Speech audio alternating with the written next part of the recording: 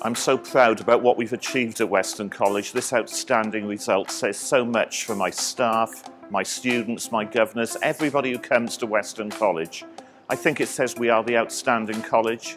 What you get here is superior, and if you go anywhere else, what you get will be quite inferior. Be part of the sparkle at Weston College. I'm so proud of it. I suppose when I first arrived at the college, um, I'd been sold a story of the college which was incorrect in that it was financially stable and quality was very good. Um, so I suppose when I arrived, I thought I'd need to really build on that. The reality when I arrived was poor finances, poor quality. So I then started with a sort of root and branch analysis of the college and what needed to be done to turn it around. I decided that there were lots of areas I could start with, but I'd start with the product. In other words, the curriculum and the courses. I think Weston's an outstanding college because of the close relationship between the lecturers and the students. They're like your friends and you can talk to them. It was always known as the tech on the seafront. Um, it seemed to have this reputation as a place where people um, who'd underachieved and hadn't done very well or wouldn't be accepted anywhere else went. But fast forward 14 years, everyone talks about Weston College, and everyone talks about how successful it's been, how it continues to grow and go from one achievement uh, to the next.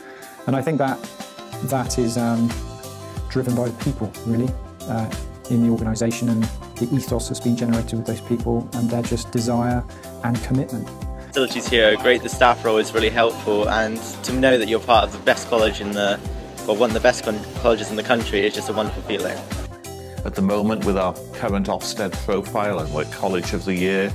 I mean, it's a very good profile to have. And so therefore my issue has always been if it doesn't benefit the learner, we're not doing it. i told that the public service course in Weston College was like, amazing and it was the best public service course around, so I came here and it's lived, well, it hasn't lived up to it, it's beyond the expectations.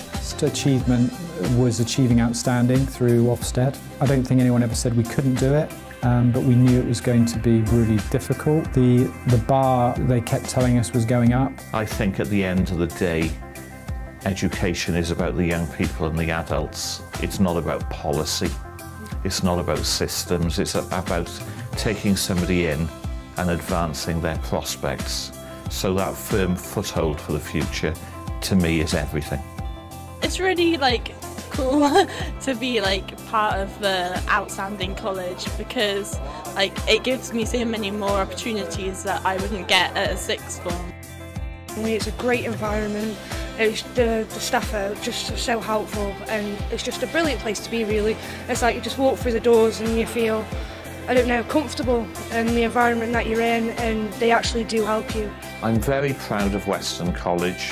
Um, I was particularly proud when Lord Baker came down last year and he said he couldn't understand why Weston had one of the best colleges in the UK. And that was from a previous education minister. And it's quite nice for somebody from education to give praise. It sort of puts you on a sort of form foothold um, for the future.